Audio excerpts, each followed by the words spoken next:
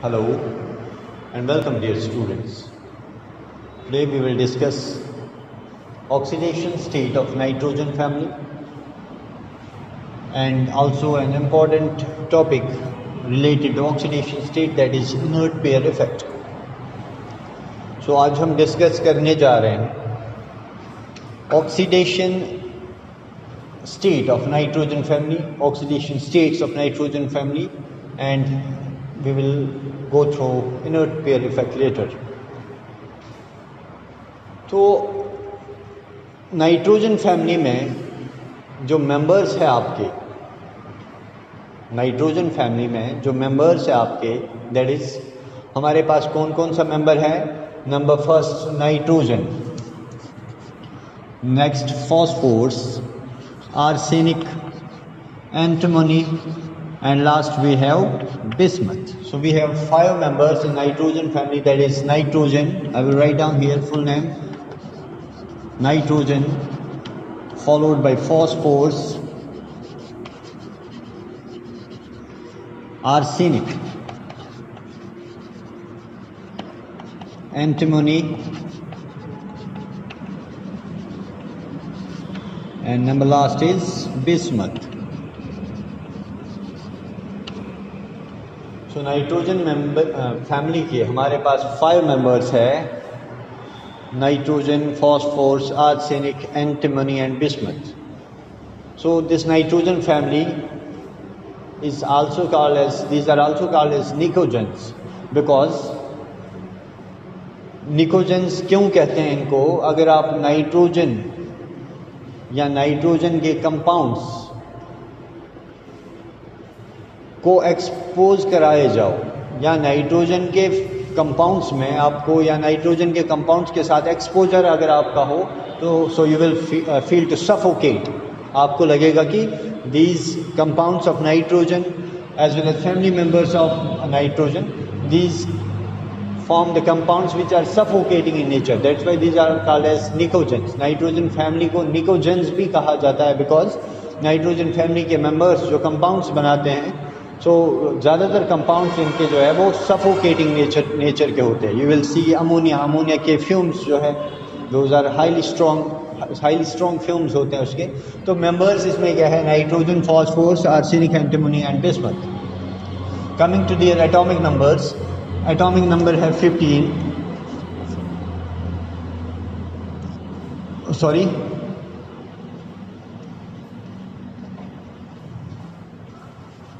जो atomic number है nitrogen का that is sorry seven next we have fifteen thirty three fifty one and eighty three nitrogen का atomic number है seven phosphorus fifteen arsenic thirty three antimony fifty one and bismuth eighty three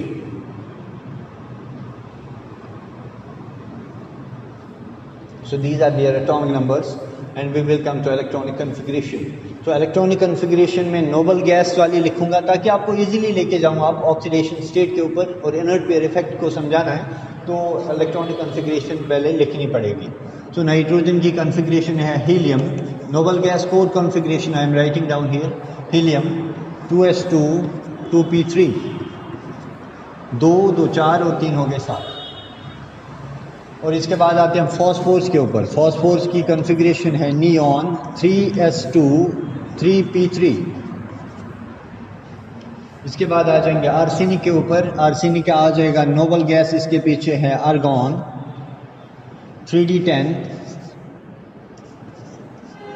four s two four p three ये आ गया आपका arsenic अट्ठारह और दस हो गया अट्ठाईस दो तीस और तीन हो गए थर्टी थ्री इसके बाद आ गया आपका एंटोमोनी। एंटोमोनी का आपका आ जाएगा नोबल गैस, क्रिप्टॉन, हो गए thirty six, four d ten, thirty six और ten, forty six forty six और आएगा इसमें फाइव एस टू और आएगा फाइव पी थ्री।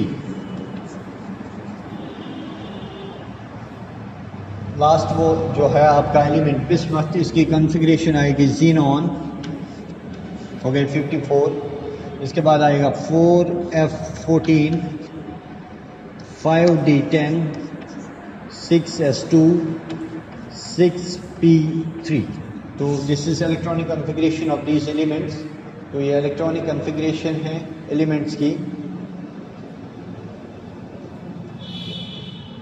इसमें हम जो बेसिकली चीज़ हमने देखनी है but we need to understand oxidation state oxidation state आपको पता होना चाहिए कि अगर एक कोवलेंटली बॉन्डेड मॉलिक्यूल है effect there is covalently bonded molecule अगर एक कोवलेंटली बॉन्डेड मॉलिक्यूल है तो हम उस मॉलिक्यूल में देखते हैं कि जो उन दो एटम्स के बीच में, जिन दो एटम्स के बीच में एक बॉन्ड है, अगर हम देखें, वो बॉन्ड किसको दिया जाएगा? यूजुअली मोर इलेक्ट्रोनेगेटिव एलिमेंट जो होगा, उन दो में से जो बॉन्ड फॉर्मेशन करते हैं। तो फिर जो एक्स्ट्रा चार्ज उस एटम के ऊपर आ जाती है, जो बॉन्ड को ले जाता है that is referred as oxidation state और ऑक्सीडेशन नंबर मतलब कि अगर दो atoms if two atoms form a covalent bond अगर दो एटम्स एक कोवलेंट बॉन्ड फॉर्म करते हैं तो ये कोवलेंट बॉन्ड किसकी ओर शिफ्ट होगा? उसको एक्स्ट्रा चार्ज दी जाती है। क्योंकि उसने जो बॉन्ड पेयर है, उसको अपनी ओर ले लिया due to its greater electronegativity तो उसकी वजह से जो रेजिडुअल चार्ज आती है एटम के ऊपर that is referred to as oxidation number और ऑक्सीडेशन स्टेट तो हम आते हैं फ़र्स्ट मेंबर नाइट्रोजन के ऊपर. नाइट्रोजन आपको पता ही है नोबल गैस कोर है, उसके बाहर है टू और थ्री इलेक्ट्रॉन्स ठीक है? तो जनरल बात करते हैं। जो नाइट्रोजन है, इसका जो ऑक्सीडेशन स्टेट है oxidation state it generally shows oxidation state of minus three ये जनरल ऑक्सीडेशन स्टेट शो करता है माइनस थ्री बिकॉज़ नाइट्रोजन की इलेक्ट्रोनेगेटिविटी ज़्यादा है एटॉमिक नंबर सेवन है। तो ये कोशिश करेगा nearest noble gas nearest noble gas nitrogen के पास कौन सा है? नाइट्रोजन के पास में जो नोबल गैस है दैट इज़ नियॉन नियॉन का एटॉमिक नंबर क्या है? टेन हर एक एलिमेंट चाहता है कि मैं नियरेस्ट नोबल गैस कॉन्फ़िगरेशन पे जाऊँ और फिर स्टेबल हो जाऊँ।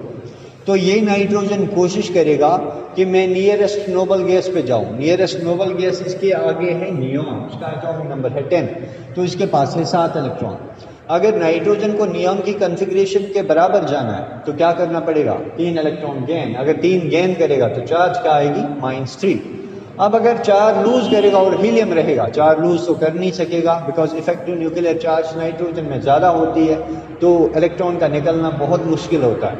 तो ये जो है, ये कंपाउंड एक है M G three N two this is called as magnesium nitride magnesium nitride में, अगर आप देखोगे, नाइट्रोजन का जो ऑक्सीडेशन नंबर होता है, नाइट्रोजन का दैट इज़ माइनस थ्री इसके बाद फॉस्फोर्स पे आते हैं। जो फॉस्फोर्स है, ये भी ऑक्सीडेशन नंबर जो है oxidation number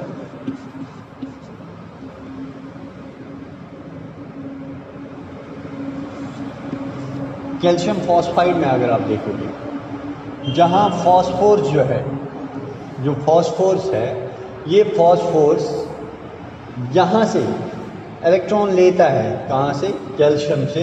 It also shows oxidation state of minus three अब हम नीचे वाले एलिमेंट्स की ओर जाएँगे। Three d ten four s two four p three five last में फाइव और लास्ट में यहाँ भी फाइव इलेक्ट्रॉन्स तो आप देखोगे जनरली मैंने कहा जो नाइट्रोजन है और जो फॉस्फोरस है हमारा these show negative oxidation states of minus three अब आर्सेनिक एंटीमनी और बिस्मत देखोगे आप, ये ऑक्सीडेशन स्टेट शो करते हैं generally plus three plus five show कर सकते हैं ये जनरल ऑक्सीडेशन स्टेट्स तो इन जनरल कहते हैं इन जनरल अगर हम बात करें नाइट्रोजन फैमिली की इन जनरल अगर हम बात करें नाइट्रोजन फैमिली की तो कहा जाता है, ये ऑक्सीडेशन स्टेट शो करते हैं प्लस थ्री या plus five general oxidation state जो है नाइट्रोजन फैमिली का डेट इज़ प्लस थ्री और प्लस फाइव अब इस कंफिग्रेशन या इस ऑक्सीडेशन नंबर से एक क्वेश्चन अराइज होता है। क्वेश्चन क्या अराइज होता है? कहा जाता है कि नाइट्रोजन फैमिली में, कहा जाता है कि नाइट्रोजन फैमिली में मैंने कहा, अभी जनरल ऑक्सीडेशन स्टेट क्या शो करते हैं? या तो प्लस थ्री करेंगे या प्लस फाइव करेंगे. कहा जाता है कि नाइट्रोजन फैमिली में अगर आप ऊपर से नीचे जाओगे सो नोबल गैस कोर के बाहर पाँच इलेक्ट्रॉन्स है अगर कभी लूज करेगा तो ऑक्सीडेशन स्टेट क्या आएगा? प्लस फाइव अगर ये लूज करेगा तो प्लस फाइव आ जाएगा. अगर ये भी लूज करेंगे प्लस फाइव आ जाएगा.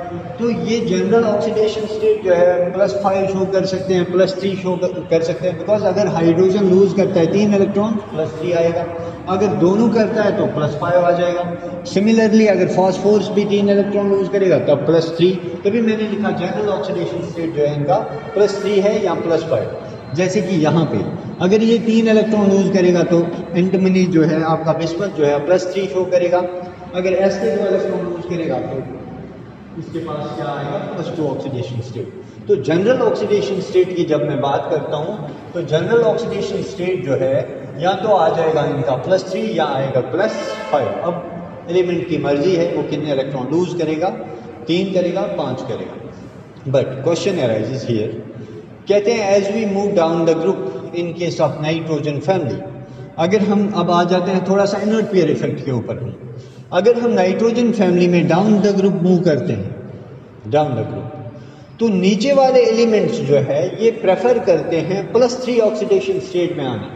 मतलब कि ये प्लस थ्री भी शो करेगा प्लस फाइव भी करेगा नेक्स्ट एलिमेंट प्लस थ्री भी प्लस फाइव भी, ये भी plus three plus five next भी plus three plus five plus three plus three ये भी प्लस फाइव करेगा, ये भी प्लस फाइव शो करेगा। अब बात ये आती है कि अगर हम नाइट्रोजन से नीचे जाते हैं, नाइट्रोजन से फॉस्फोरस पे चले गए, फॉस्फोरस से आर्सेनिक आर्सेनिक से एंटमनी और बिस्मत कहते हैं, ये जो एलिमेंट्स है, ज़्यादातर ये वाले तीन elements you need to look at it arsenic, antimony और बिस्मत नीचे की ओर जब हम जाते हैं, कहते हैं, नीचे वाले एलिमेंट्स जो है, ये प्रेफर करते हैं ऑक्सीडेशन स्टेट प्लस थ्री क्या प्रेफर करते हैं? Oxidation state of plus three ये लास्ट वाले तीन एलिमेंट्स अब मुझे बताओ, अब इनका साइज़ तो बड़ा है तो पाँच इलेक्ट्रॉन ये इजीली लूज कर सकते हैं। बट तीन ही क्यों करेंगे? प्लस थ्री में ज़्यादा स्टेबल क्यों होते हैं?